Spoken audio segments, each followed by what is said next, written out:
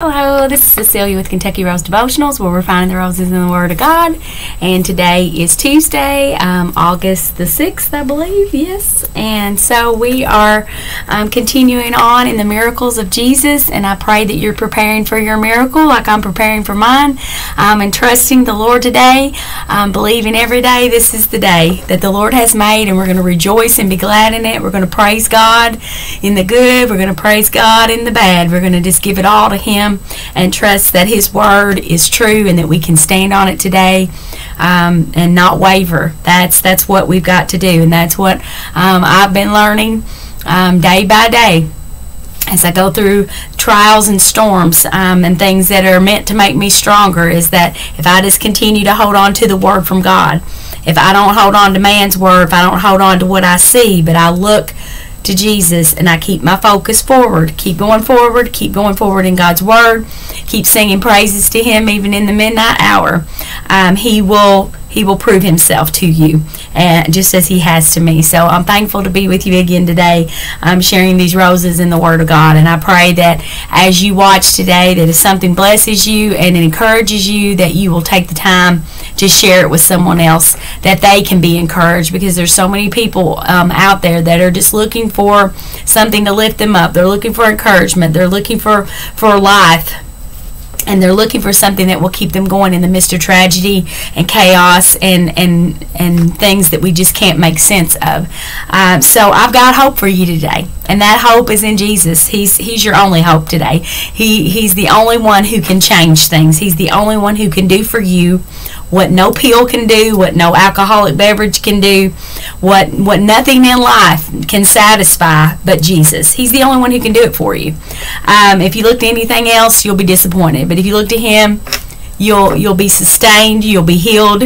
You'll be encouraged. You'll be able to carry on when other people fall off and walk away. You'll be able to continue on and do what you need to do for the Lord. And that that's the power of of the cross. That is the power of what Jesus did on the cross for you. He provided a way of escape for you today.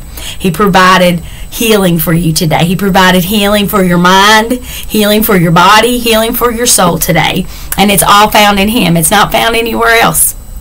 So today we're going to look at another miracle of Jesus, really the fourth recorded miracle. If we if we go in order of, of miracles that Jesus did, he did so many, um, so many weren't even recorded. So, but this is one that we have that's recorded, and it's actually recorded in three of the four Gospels. So that lets you know that this was a powerful um, impression that was made with this healing, and for several reasons why. So I'm gonna, um, I'm just gonna read each of the three stories for you out of the Bible, and I think that'll really make it come to life with each author of the gospel matthew mark and luke. Um, all tell this telling of the, the leper being cleansed. And this one's always a powerful one for me. Um, it always touches me at my heart because i look at the compassion of Jesus in this. And if you're wondering, does God love me? Does He have compassion on me? Is He concerned about me? This this this one does it all for me, um, and, and it tells it in such a beautiful way. But let's look at Matthew's telling in chapter eight of Matthew. And he says it this way. He says, When he, Jesus, was come down from the mountain, great multitudes followed him. They were following him for his teaching, but they were also following for the miracles. This is, Behold, there came a leper and worshiped Jesus. He started with worship. I love that recording of Matthew.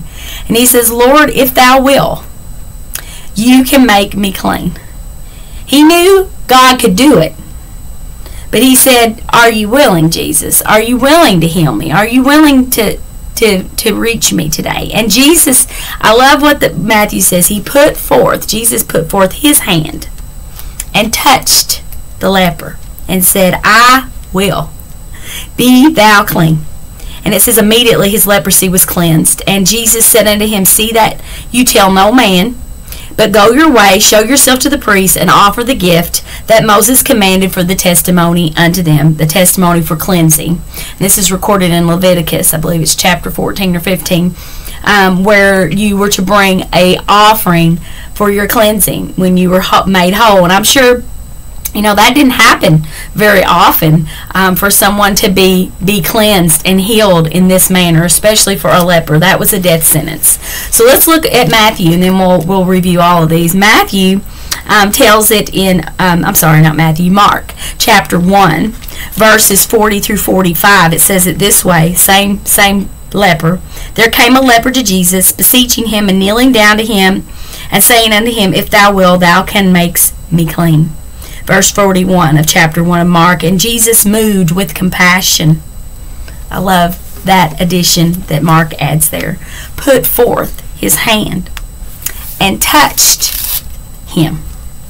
And he said to him, I will be thou clean. So the same same words Jesus spoke there, but I love that Mark added that Jesus moved with compassion, touched the leper. He says, as soon as he had spoken, immediately Immediately the leprosy departed from him, and he was cleansed. And straightway he charged him forth, sent him away, and said, See thou um, say nothing to any man, but go your way and show yourself to the priests and offer for the cleansing those things which Moses commanded for a testimony unto them. So same, same telling. But he went out and began to publish it much. Now Mark gives us this detail that the man who was healed of leprosy went out to tell everyone, to blaze abroad the matter, insomuch that Jesus could no more openly enter into the city because of him, but was without in the desert places, and they came to him from every quarter. So this tells us that this is the reason why Jesus had told the man, you know, don't go and tell everybody, but just show yourself to the priest and, and get back and, and get back into society um, and get back your life. Um, he did not want him spreading it abroad because he wanted to be able to to heal and teach freely in that city. But because of him um, telling, which you can't blame him for wanting to tell the miracle that had been done. I mean, he literally went from being dead to being alive again. Um, but that limited um, the ministry of Jesus in that area, and it caused people to have to be driven out into the desert places to find Jesus. You know, sometimes we have to be driven into the desert place. We have to go in a place that's dark, a place that's dry and empty and hot. and, and in a place of, of fiery trials, literally a desert would be, to find Jesus. But that's where you find him. You find him in the in the trials of life. You find him in the in the difficulties of life. You know, some people pull away, but but people in in this time didn't pull away from going to the desert place because they knew Jesus was there. They knew he was present to heal. He was present to to give the word that they needed, the encouragement that they needed to make it through the difficulties that they were facing. So let's look at Luke's telling. This is the final third telling of the same story of the leper in chapter 5 verses 12 through 16. It says, And it came to pass, when he was in a certain city, behold, a man full of leprosy. So Luke gives us those um, extra details as a physician. Luke was a physician, he was a doctor. So he was saying that this man's condition was terminal. He was not just, uh, he didn't have just one part with leprosy, he was full of it. This was a death sentence. He was literally a walking dead man. Full of leprosy, who seeing Jesus fell on his face and besought him, saying, So he, he fell on his face to worship the Lord. He, he immediately began to worship, and in that worship, he, he spoke, Jesus, if you will, I know you can make me whole. So he says to him, again, um, at, at verse 12, saying, Lord, if you will, thou can make me clean. And Jesus put forth his hand and touched him, saying, I will. Be thou clean. And immediately the leprosy departed from this man. And he was charged by Jesus to tell no man, but to go and show himself to the priest and offer for the cleansing according to Moses' command for the testimony of them. So same telling here. Um, but so much more went there the fame abroad of Jesus to the point the great multitudes came together to hear, and they were healed by him of their infirmities. Jesus healed their infirmities. The Word of God came as a healing for their infirmities. And it says at verse 16, as an added note here, that after all these healings, all this power and love and compassion went out of Jesus, that he withdrew himself into the wilderness to pray. And you know, that's where we find our strength. Jesus, even the Son of God, had had to withdraw from people and, and, and the cares of life. And he had to withdraw to that secret place in the wilderness to pray and to renew himself in the Lord. And you know, all of us have to do that at times, especially if you're in ministry and you're pouring out constantly to people. You've got to take time as Jesus did. If Jesus did it, you know we've got to do it. To take time to pull away and to pray and refresh ourselves daily so that God can refill us so that we can go out and help others and encourage others. That's that's the whole reason for pulling away and, and seeking the face of God. So let's look at all that is in this beautiful healing of this leper. I, I love it. I love all the, the beautiful points that each author adds Matthew, Mark, and Luke. They each give you details that you need to see the beauty and the compassion of our Savior Jesus. Um, you know, this was a crippling disease. This was a disease that left you literally as a walking dead person. Um, you were alive, but you wished you were dead. You know, maybe some of you, maybe some of you are in that place. Maybe you've been in that place before, or maybe you're walking through that place right now where you think that your situation is hopeless, that your situation is you're you're just you're alive, but you don't want to be. You're in a place where you're thirsting for God and you want to know if He's real, but you're afraid to trust because maybe you've trusted before and maybe things didn't turn out the way you wanted them to, or maybe you're still battling with a disease, or you're battling with depression, or you're battling with anxiety and you and fear, and you think you'll never ever escape it. You've you've been bound by it so long that you believe the lie of the devil to think that this is just how life has to be. You have to live, but you don't. It, it's miserable. And this was the life of a leper. It was a miserable, horrible life of isolation. It, it reminds me much of, of anxiety and panic attacks, what it does to you, because I've had those. And that's still at times, um, if, I, if I don't watch, and um, when I say by watching, I've got to keep myself in the Word. I've got to keep myself in the love of God, that fearless love that casts out fear because God doesn't give you a spirit of fear. He gives you power and love and a sound mind and that perfecting love in him in you keeps that fear at bay. We we rebuke it at the name of Jesus. And so, you know, this is the kind of, of sentence that a leper had to walk around to be isolated. Nobody wanted to be near you, and, and that's kind of the way anxiety works. It isolates you from people. You just want to stay indoors. You don't want to leave your house because you just feel like every time you get out that there's panic and there's fear from everything. It doesn't matter what it is. It's just you just can't handle situations. And you know, this had to be the life of a leper to go out and to be shunned by people. And let me give you some of the details of how, how they were really treated. And this this will break your heart. But this is this is the time of of the leper and how it was. It was it was a disease that was destructive. And to be full of it meant that he had no hope of improvement. That the only thing that was going to happen now is just he was just waiting to die, really. So he came to Jesus and some of you may be feeling this way today. I know I, I, I had for several months and, and, and weeks in a row um, just really isolated myself because of a situation. And, and in those situations that you feel that way, you feel a sense of total desperation. You feel a sense of need. And that's what this leper was feeling. He knew there was no hope for him at all. And his only hope in this moment of desperation, and you may be thinking this today, this is me. This is you today. You may be saying, I'm at a, a, point in my life where I'm at a, I have a need that only God can take care of. Doctors can't help me. I've tried doctors. I've tried this. I've tried that. Nothing has been a cure for me. This is where this leper was. He's in the same place that some of you out there that are watching are in today that you have this great sense of need and desperation. You're literally living dead.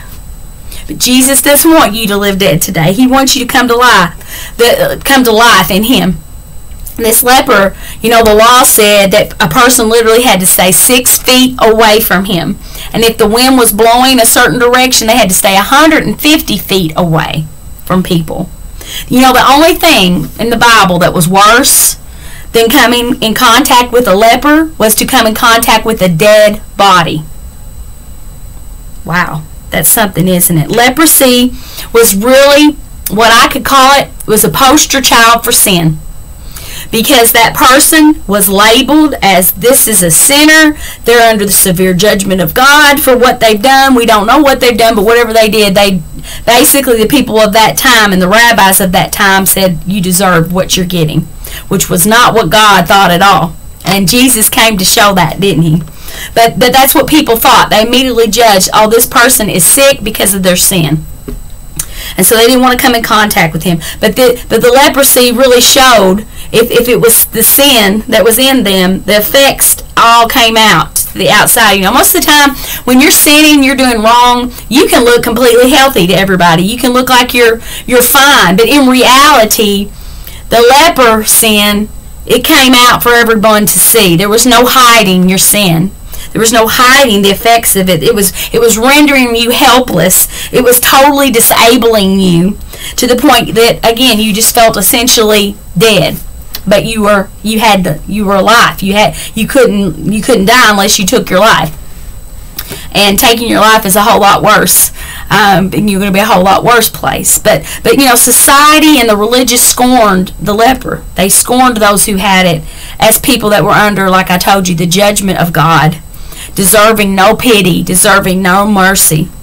But I love this. Nevertheless, I love that word. We got into that word yesterday. Nevertheless, this leper, despite all he was told by his society, don't go to Jesus. What you have is terrible. It's hopeless. He's not going to help you. No one's going to take you to Jesus. You've never seen Jesus heal a leper before yet. So you don't really have any promise. This is the lies of Satan. You don't have any hope. You know, He's not even giving you an invitation. You know, some people wait for an invitation to come to Jesus. He just wants you to come. He, we don't have to be called by name. Jesus didn't call this man by name, but this man knew who Jesus was. His reputation had gotten around. And this man knew if he could just get to Jesus, just like the one with the issue of blood, if I can just get to Jesus, I don't have to have an invitation for him to call me by name. You know, he probably felt ashamed. He probably felt alone. He probably felt scared to even make this attempt because of his condition to try to get to Jesus. But he didn't let that stop him. He knew that this was, if, if I die, if people kill me for trying to get to him, I'm already dead anyway. I've got to get to Jesus. And so by faith, he believed that Jesus could heal him. By faith, he was willing to do whatever it took. Are you willing today? Are you willing to give up whatever you got to give up? Are you willing to press through whatever you got to press through to get to Jesus today? This man wanted more than healing. He, he wanted cleansing for his soul. He wanted to know his life and his soul were secure, that he was healed inside. And, and what I love about this story is Jesus could have just spoke and said, I will, you're healed. But Jesus didn't do that, did he? I love what he did. I, I love that, that Mark tells us that he reached out, Jesus did, with his hand. And he touched the untouchable. Can you think of how many years? It breaks my heart, makes me want to cry almost to think about. How long it had been that, however long this man had had this disease, it might have been years that he had not felt the touch of another human in years. You know, science tells us, even science tells us that the, the power of a touch is very great. Even with babies, we're, we're immediately supposed to bond with them by touching them to our skin and, and, and loving on them. Same thing is true when you get a new pet or, or you're, you're helping someone go through difficulty. Touch makes a difference. The hands on us, someone touching and agreeing with us, someone believing, reaching out that hand to hold our hand, to agree with us on a need. It is a powerful thing, touch is, and Jesus knew that. He knew that this person, this man, had probably went a long time with without feeling a hand on him. And Jesus in his compassion, he touched him. He touched the untouchable, the man that no one else would touch. You see, you may be feeling that way today. You may be feeling like I'm untouchable. I, I feel like I'm so full of things that Jesus could never forgive me for. I feel like there's things in my life that I prayed for, but but I haven't seen them come to pass yet. And maybe they're never going to come to pass. Well, that's a lie from Satan today. I want to tell you that you're not untouchable. Jesus came for you. He came for the untouchable. He came for the ones that need healing. He came for the ones that needed a Savior, that need a physician. If we had it all together, He wouldn't have came. But we don't. We are not perfect people. We don't do everything we're supposed to do all the time. Only through the grace of God and His mercy can we keep coming to Him, petitioning Him. And He says, I'll keep touching you again and again and again. Just one touch from Him today can change your entire situation if you believe, if you trust Him, if you know that He will do. He's willing. But are you willing? Are you willing to give your situation to Him today? By His word, by His touch, Jesus said, I'm willing. I'm here for you. I'm willing to touch you, but will you touch me? That's what Jesus is asking. He's not only got the power to heal you today, but He's also willing to show you grace, mercy, love, forgiveness, compassion, concern. That He's God today. He's God. He's a God who loves. But he's also a God full of power to heal you and change your situation that you're in right now. I, I love the word immediately that is, that is witnessed here in all three accounts. Immediately, instantly, everything. For years that, that this man had been tormented. The torment left instantly. Instantly.